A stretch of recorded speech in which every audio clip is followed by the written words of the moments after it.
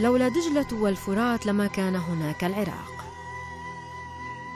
طالما كانت الشرارة الأولى لمعظم حروب الأمم عبر التاريخ فحيث هناك مياه تكون الحياة.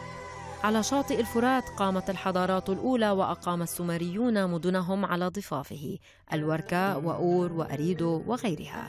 ورث البابليون الفرات من السومريين ليصبح من مقدساتهم ورمزا للرخاء والحياة يشفي الجسد والروح.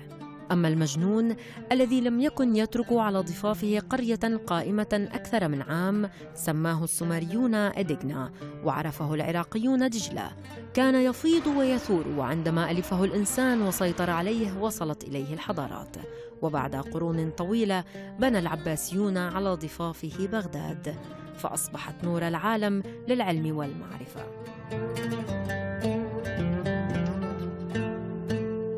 ميزوبوتاميا اسم أطلقه الإغريق على بلاد بين بوتاموس النهرين دجلة والفرات وأبحرت كلمات الشعراء العراقيين والعرب في مياهما منذ الجاهلية.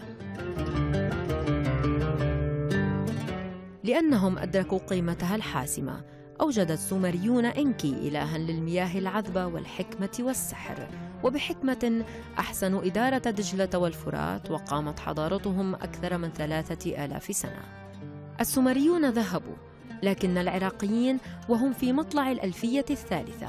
أبناء النهرين يقولون إنهم عطشة. لوعي وحكمة أجدادهم لينقذوا دجلة والفرات من حروب هذا الزمان ومن غدر الجيران حيث المنابع.